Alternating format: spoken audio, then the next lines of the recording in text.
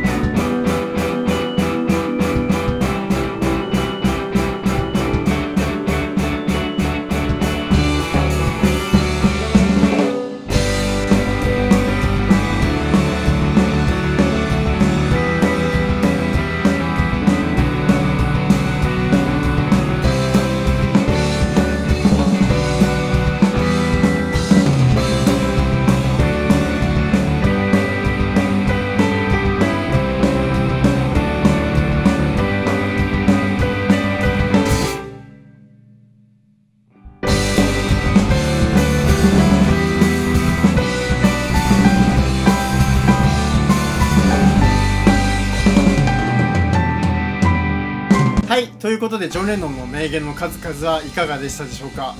今後もこんな感じで音楽の話題を中心にいろいろと動画を作っていきますのでぜひ気に入っていただけた方はチャンネル登録や高評価ボタンをよろしくお願いします。あと自分自身音楽活動もやってますのでそちらのチャンネルも少しでも興味があれば覗いてみていただけると大変嬉しく思います。それではまたお会いしましょう。さようなら。